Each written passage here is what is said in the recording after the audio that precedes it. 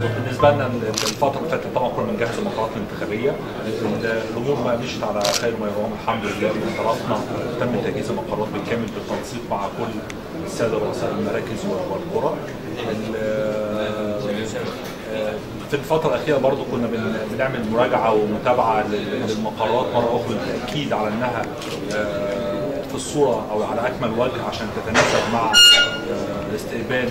استقبال الإخوة الناخبين جميعا ويكون الموضوع طالع في أعلى مستوى ويكون بمستوى يليق بأن هم يكونوا في أمن وسلامة.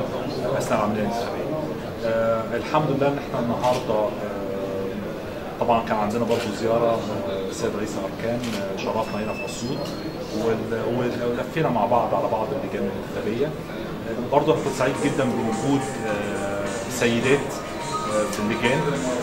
وده شيء بالنسبة لي بيحسسني إن إحنا في اختلاف الدنيا الدنيا بقت مختلفة. خصوصا إن منهم منهم بعض بعضهم كبار السن ودي برضه حاجة تحترم جدا. أنا بناشد كل المواطنين إن هم إن شاء الله يدوا أصواتهم ده حقهم وحق بلدهم عليهم.